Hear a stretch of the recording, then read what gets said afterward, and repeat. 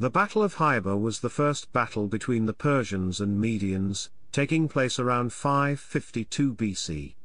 It was also the first battle after the Persians had revolted. These actions were led by Cyrus the Great, as he shifted the powers of the ancient Middle East. The Persian success in the battle led to the creation of Persia's first empire and began Cyrus's decade-long conquest of almost all of the known world. Though the only authority with a detailed account of the battle was Nicholas of Damascus, other well-known historians, such as Herodotus, Ctesias, and Strabo also mention the battle in their own accounts. The outcome of the battle was such a great blow to the Medes that Astyages decided to personally invade Persia. The hasty invasion eventually led to his downfall. In turn, the former enemies of the Medes tried to move against them, only to be stopped by Cyrus. Thus a period of reconciliation began, which facilitated a close relationship between the Persians and Medes, and enabled Ecbatana, capital of Media, to pass to the Persians as one of Persia's capitals in the newly formed empire. Chapter 1 Background the battle occurred after the Persian revolt, which is known to have taken place in the summer of 553 BC. Based on scant sources the battle is believed to have taken place at least half a year after the revolt had already begun, probably in the beginning of winter in 552 BC. Astyages, the king of Medes, who is thought to have also been Cyrus's grandfather, had earlier turned down the request of Cyrus to leave his court and visit his parents again, as he had done several times earlier. Though his request to Astyages was not unusual, Cyrus had made the mistake of asking him right after the revolt that had happened, but through the pleading of the Persian servant, Ebers, Astyages let him visit his parents again. In Herodotus' version, in one of the first times Cyrus had gone to his parents, the Median general Harpagus had secretly sent a letter stuffed in a hare to Cyrus to plot a revolt, and Cyrus passed the letter on to his father. This matches the account of Nicholas in which he says that Cambyses I had already assembled many troops well before the battle had started, and that he later dispatched a small number to Cyrus's aid. Cyrus sent a message to his father saying, Send at once 1,000 cavalry and 5,000 foot soldiers to the city of Hyrba which lay on the way, and to arm the rest of the Persians as quickly as possible in such a way that it should seem to be done by command of the king. His true aims he did not communicate to him. This also confirms the notion that the battle took place months, not days, after the revolt. Astyages' decision to let Cyrus return to his parents is considered by some to have changed history by eventually enabling the Persis province to become the most powerful state in the ancient world. Chapter 2 The Motives Cyrus was in Ecbatana when the revolt had already begun. In Nicholas's account, when Cyrus was let go, he fled from Astyages because he knew he might eventually be executed if Astyages discovered that Cyrus's true motive was to join and fight alongside his father, if necessary. This is because when Cyrus was halfway to becoming an adult he learned that Astyages had already tried to execute him when he was an infant, but it did not succeed, and as time passed, Astyages came to respect Cyrus for the similarities of character they shared.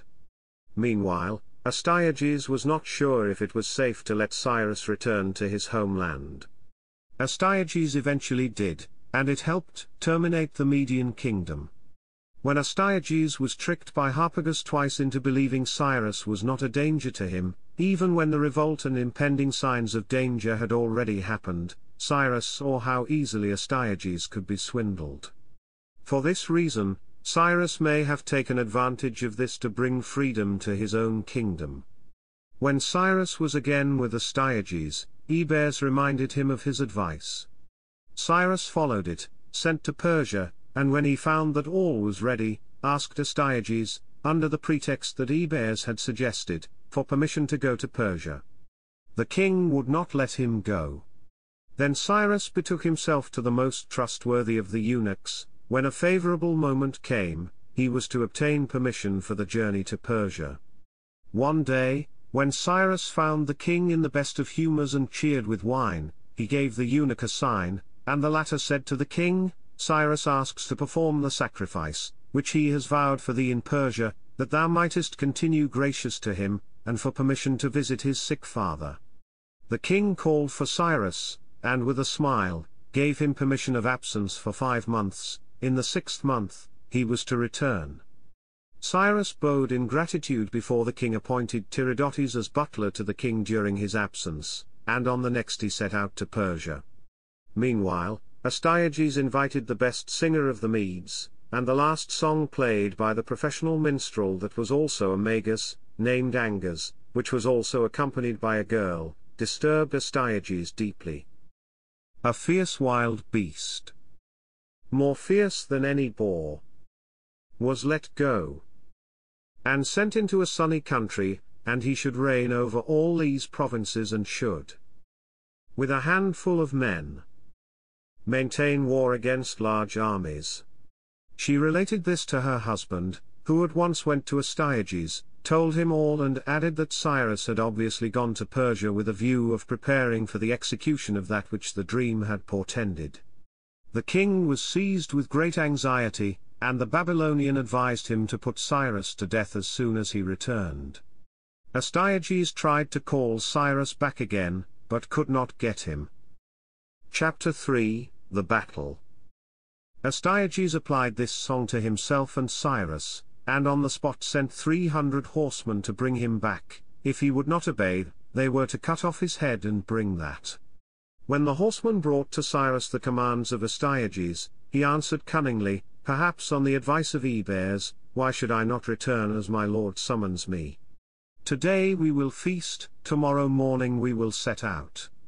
This met with their approval, after the manner of the Persians, Cyrus caused many oxen and other animals to be slain in sacrifice, feasted the horsemen, and made them intoxicated. At the same time he sent a message to his father to send at once 1,000 cavalry and 5,000 foot soldiers to the city of Hyrba which lay on the way, and to arm the rest of the Persians as quickly as possible in such a way that it should seem to be done by command of the king. His true aims he did not communicate to him, in the night he and Ebers took horse, just as they were, hastened to Hyrba, armed the inhabitants, and drew out those whom Atridates had sent in order for battle.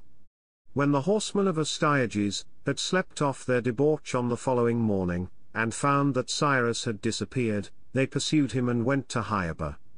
Here Cyrus first displayed his bravery, for with his Persians he slew 250 of the horse of Astyages. The remainder escaped, and brought the news to Astyages. Concerning the troops' types, it is unknown whether or not the Persian infantry engaged in the battle. It is most likely Cyrus and the cavalry he had escaped with from Media fought directly with the Median cavalry Astyages, had sent to bring Cyrus back. Cyrus might have known he needed all his men when fighting Astyages' best cavalry, for when battle had started, Cyrus with his will and superior numbers had the advantage. Nicholas goes as far as to say Cyrus first displayed his bravery in this battle. Nevertheless, Cyrus's tactics proved successful in maintaining the war. In Herodotus' histories, he hints the first battle between the Persians and Medes, which Harpagus goes over to Cyrus, and most of the Medes either joined Cyrus or were killed, with a small force escaping back to Media. This seems to go in accordance with Nicholas' account of the first battle. Chapter 4 Aftermath Woe is me!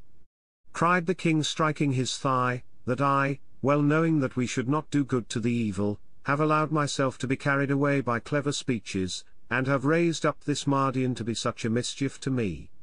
Still, he shall not succeed. While Cambyses met with his son and organized the 350,000 plus men, Astyages armed men under and over age for fighting battles, and from all over the empire, to come. Purportedly with 1,205,000 plus men, Astyages marched his troops out.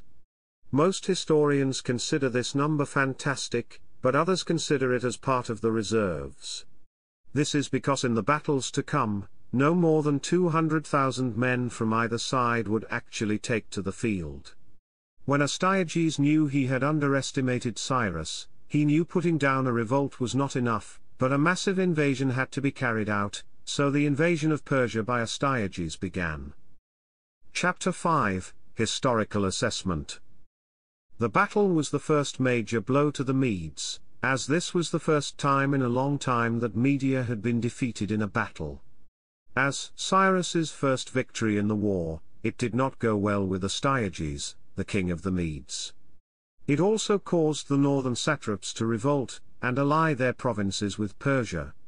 Years after the war, the Persians and Medes still held a deep appreciation of one another, and some Medes were allowed to become part of the Persian immortals. Since the early 1900s this battle was almost forgotten to history.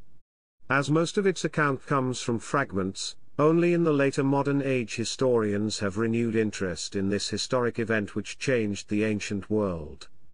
This is because the battle started a chain reaction of events which led Persia to become the most powerful state for the next quarter of a millennia. Chapter 5 Section 1 Classical Sources The Nabonidus Chronicle of the Babylonian Chronicles Herodotus I, 127 to 128 Ctesias. Justin, Epitome of the Philippic History of Pompeius Trogus I, 6. Fragments of Nicholas of Damascus. Strabo 15, 3.8. Athenaeus, 1.146 to 419. Chapter 5 Section 2, Modern Sources. Rawlinson, George. The Seven Great Monarchies of the Eastern World New York, John B. Alden Press, reprint p. 120 to 121. In four volumes? ISBN 978 14286 4792 3. Fisher, W. B., Ilya Gershevitch, and Ehsan Yarshater, The Cambridge History of Iran, Cambridge University Press p. 145. In one volume.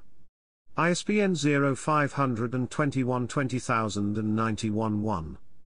Stearns, Peter N., and Langer, William L. The Encyclopedia of World History, Ancient, Medieval, and Modern, chronologically arranged, Boston, Houghton Mifflin Press, p. 40. In six editions. ISBN 0395 65237 5.